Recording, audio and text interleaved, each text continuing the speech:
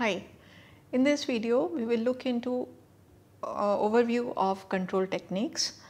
So far we have seen that uh, where we will apply proportional, proportional integral and proportional derivative and PID controls, different kinds of structures and so on. At the same time we have seen feed forward technique and where, where we can benefit from feed forward technique as compared to the feedback technique. So in this uh, case we have 6 industry standards that one can follow. Um, uh, these are cascade control, mid-range and split range control, control by adding some nonlinear elements, ratio control, selector control and feed forward control. In this lecture series I have covered uh, feed, feed forward control in a bit detail, but rest of the three, rest of the five types of the control structure one can look into and look into what are the different uh, benefits and uh, limitations of each and every method. While looking into the nonlinear structures, one can add into the control loop actuators and sensor compensations, compensators instead of completely working on the nonlinear, uh, uh, nonlinear structure of the system, one can compensate and compensate and make the system behave like a linear system. Similarly, one can look forward for adding limiters uh, in order to take care of the actuator saturation limits. For example, you are working with motors, it can work within certain range of values, input values. And if your control controller is generating input control commands to be given which are uh, beyond this range, one can look forward that okay these limiters take care of um, take care of the uh, range, uh, range in which the uh, control input is to be given.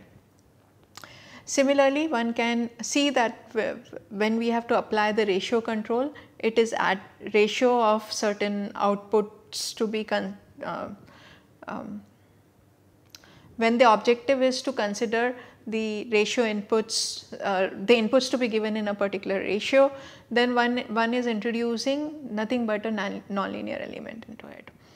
So, purposely we are adding certain nonlinear elements in order to take, take care of the objectives of the control that is expected by an application. One can also look forward for controllers with logic. For example, we say that if this condition is satisfied then to apply this particular controller, um, if uh, otherwise do something else and so on. So, when such kind of logic is considered one can go forward for a fuzzy logic way or a switch systems way to, um, to make sure that things are in place. So, uh, in, in, in one way we can say that okay these nonlinear elements that we are adding into the uh, into the system into the control system in order to simplify the controller task. Again we will be looking into certain cases where the controller is having the PID structure itself but in order to enable this controller to have a PID structure, what else is needed? And this is where you might have to add certain more nonlinear structures into this loop, control loop to satisfy that controller needs to, con controller is a simplified one. Our objective is a simplified controller designs in order for the implementations to be, to be, uh, to be very um, simplified and one should be able to implement it even in the embedded systems and and um, and and and work with very nice conditions work working with different environment conditions and objectives are being satisfied there in this uh, regard we will understand what is the difference between when to apply the gain scheduling method and the adaptation methods uh, shortly so, in order to understand that let us see what kind of system characteristics exist for any kind of system. So, we can we have we have been talking about LTI systems which is linear time invariant systems. Um, in order to see that how the controller is theoretically being analyzed and uh, the benefits of it can be given in terms of the guarantees and so on and so forth. So, LTI systems have the study of the LTI system has helped us in understanding the behavior of the controllers in, in so to say that. But in practice uh, none of the system behaves like an is, is actually an LTI system, but the behavior can be mimicked as linear time invariant.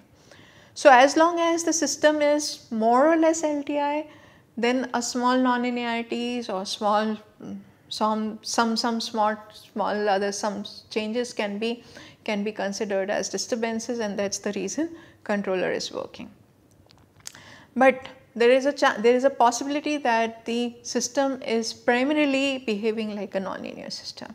Then can I still use PI, PPID systems and so on is what we will discuss it in terms of the um, methods that exist in order to enable the controller to have the PID control kind of a structure.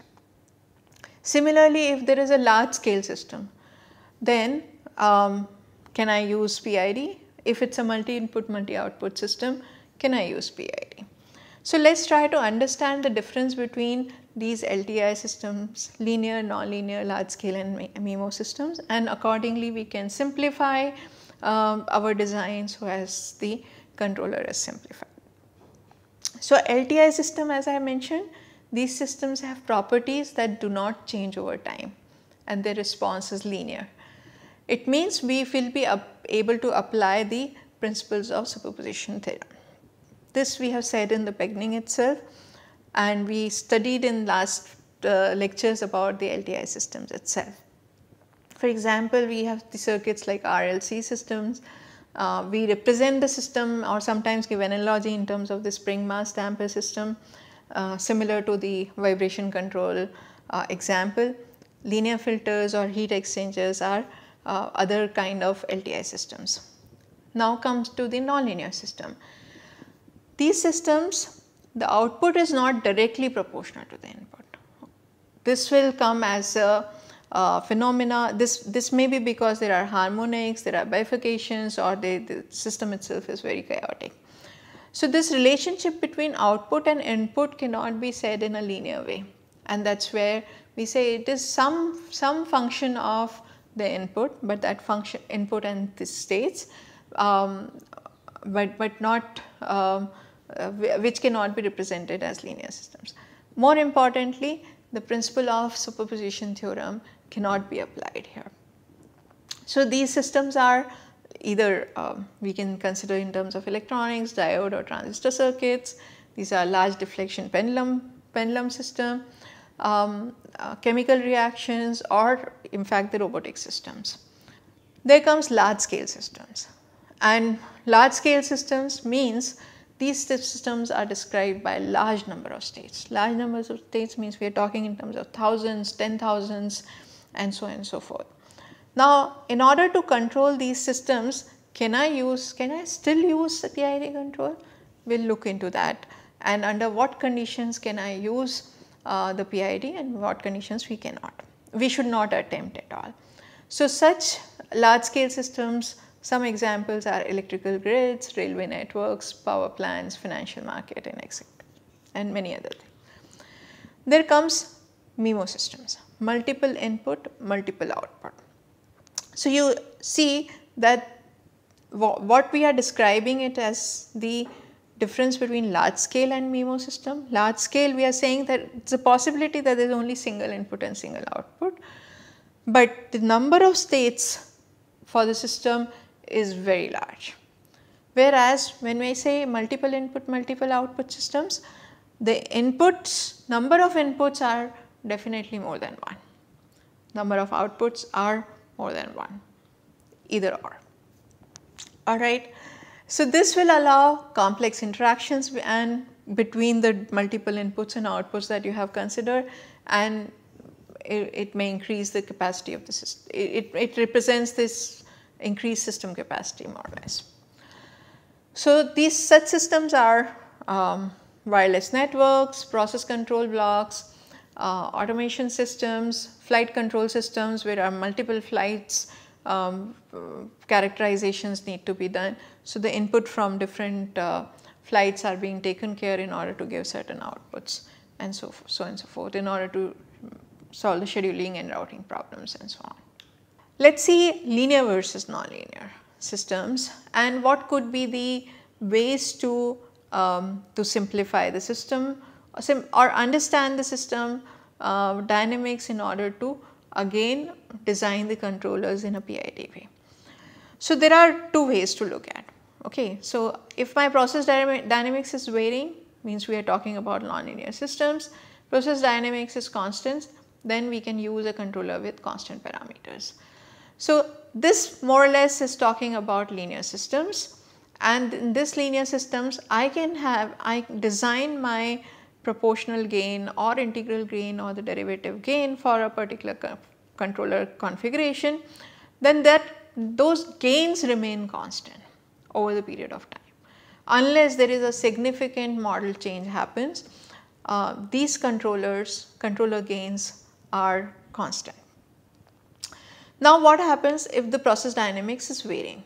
So again what we can consider as two cases when the controller itself has varying parameters. Okay. We will have to design the controller with varying parameters means that proportional if I have for example I am designing with proportional and integral control. Then proportional gain and integral gain itself is varying with time or some state values some uh, is, is dependent on state or time. Now these variations that the controller gains have to be are the if these are unpredictable variations then we will use the adaptive control. Means we will more or less change these gains on the go. Means when the when the system is running that time we will make the decisions on on on changing these variation changing these the values of the gains. But if these are predictable variations then we will use the gain scheduling. And that comes from the fact that these predictable variations can happen if I am able to define the process dynamics even though it is nonlinear that relationship to certain extent that particular model is not changing with time. Okay. Then what are the ways to do this gain scheduling way? Let us try understanding the gain scheduling method now. This particular uh, as we said the process with characteristics that are though it is nonlinear but it changes with time or changes with operating conditions. Then we will have the, uh, the method called auto tuning and this auto tuning is more or less being, being uh, described in terms of a table. So, I have a controller and a process, the controller gains are coming are read through this particular table. Now, this table is a more, more or less like a lookup table such that I have um, the input to the table is either the current state or, or, or, or some other combination of the condition of that particular process and the condition of the that particular condition is given by some combination of the states. And that combination needs to be identified of course in order to put that to fill this particular table values, the values into this table. So, the controller gain as we see in this block is getting changed depending upon what is the state of the process. This means I can consider this as an operating range as well. So, in terms of the practical uh, way of implementing it, if I have particular operating range, okay, then this particular then controller gain set 1 is to be used. If I am changing the operating range, then controller gain set 2 should be used and something similar. So, this particular operating range, so this table, this is one way of looking at it. This table has the input as the range values, operating range values and the output is your controller gains. And these are uh, Kp, Ki, and KD. So, range 1 you use some values, range 2, range, range 1 means let us say we are working with DC motors, so 1 to 2 volts you consider these values 2 volts to 3 volts you consider these values and so on. DC motor though is a bad example because more or less it is a linear system and so this Kp, Ki, Kd values do, do turn out to be all constant values alright, but to understand it that way. Alright, so what is the um, the operating range that we are talking about. Now input to this table. Now this is defined by scheduling variables more or less, right. What is the schedule that we are kind of consider in order to change this control values. That schedule may be dependent on time, may be dependent on the state combinations as we are talking about or input combinations. This particular scheduling variable which is like the input to this table is to be identified and this is what the trickiest part of gain scheduling it should be selected such that it correlates well with the process dynamics. It can be it, it can be measured signal, it can be control signal or an external signal as well. Its range is quantified into number of discrete operating conditions. Okay. So, I gave an example of operating range of DC voltages which were only dependent on the input values. But at the same time it can be some values of some conditions of measured signal means the output signal, control signal or an external signal, some, some other system that is controlling that, that is that is affecting the process. But these signals that we are we are talking about or a combination of these signal needs to be quantified into number of discrete operating conditions, discrete steps so that I can give it in as an input to the table and I can consider this forming a lookup table. Now the controller parameter are then determined by the auto tuning methods, automatic tuning of this. One can also use some learning methods later on we can, we, we can think about doing that. Controller parameters are stored in this table for all operating conditions. Now these operating conditions that we are saying, first is we discretize it. These operating conditions are then identified with the, with the help of measured signal, control signal or external signal or combination of these. Alright, given this particular idea about the gain scheduling, we have one method which is um, which is very uh, um, very promising method for gain scheduling. At the same time, it does some kind of um, some kind of control using PID of nonlinear systems. Let us try understanding this. This is called iterative feedback tuning and this is um, a method in, in terms of getting the PID control values with the help of optimization method.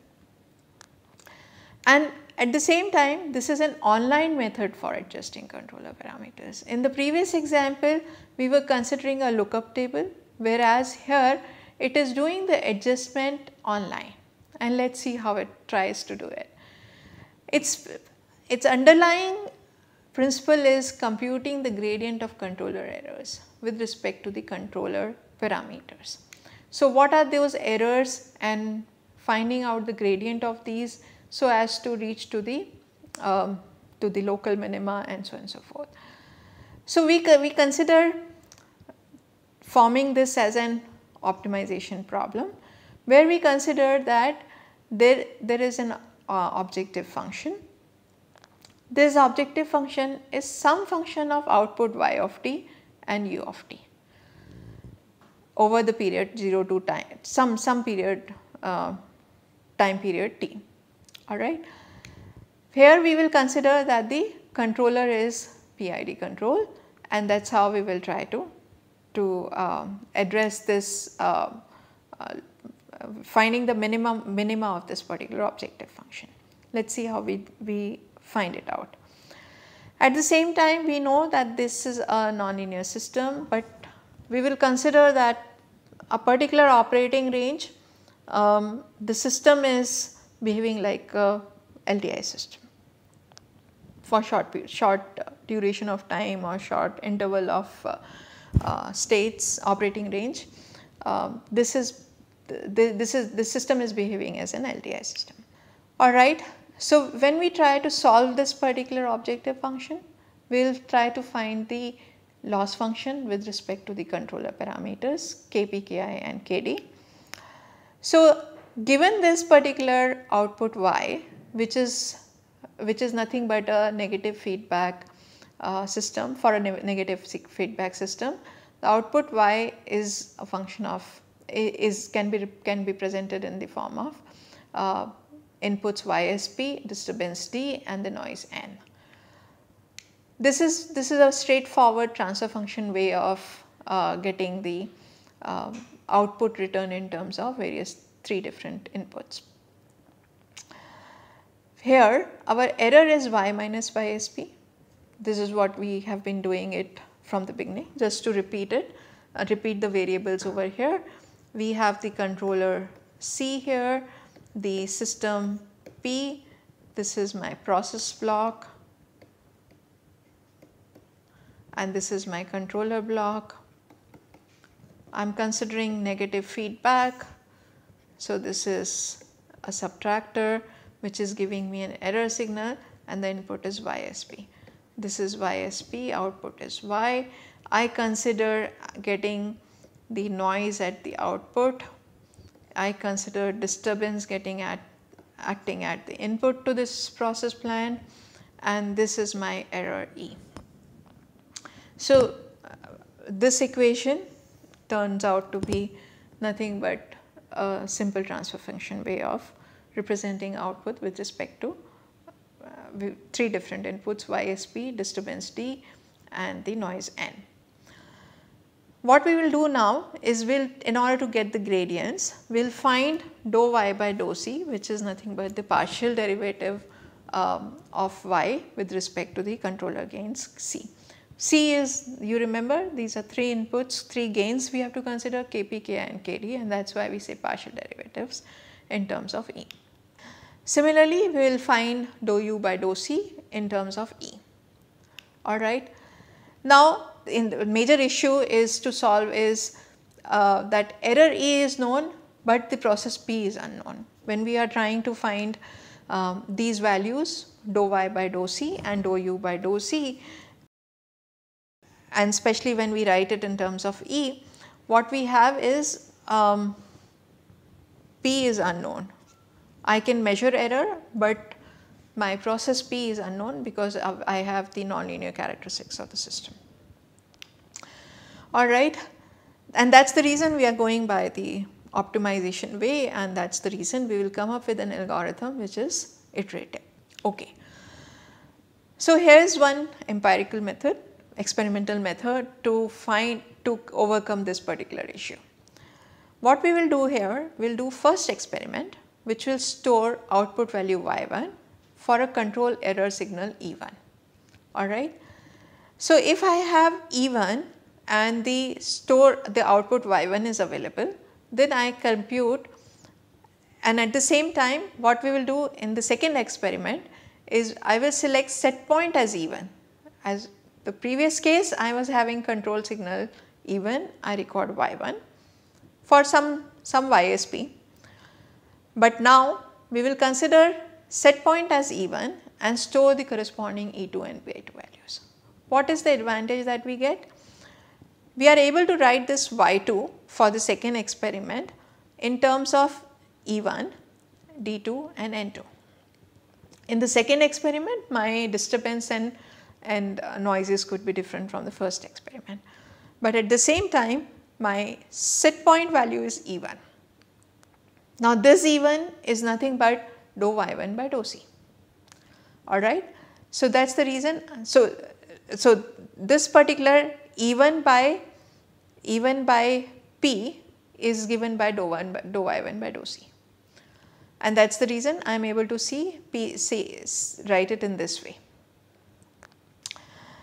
At the same time E2 can be represented again in terms of E1 because my YSP is E1 here and D2 by D. While E1 is coming from my first experiment dou U1 by dou C. So, this is what 1 by PC 1, 1 by 1 plus PC times E1 gives you dou U by dou C.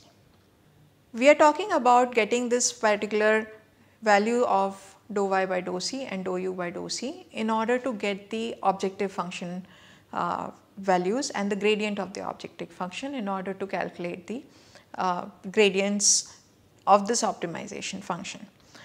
So, what happens is now as soon as I write in terms of um, the experimental values y2 and e2 which we have recorded from the experiment, Now we are able to represent this gradient, calculate this gradient dou y1 by dou c and dou u1 by dou c in the following way. If my disturbance, if I consider the negligible disturbance and noises, I can consider dou y1 dou c approximately as c times y2 and dou u1 by dou c approximately same as E2.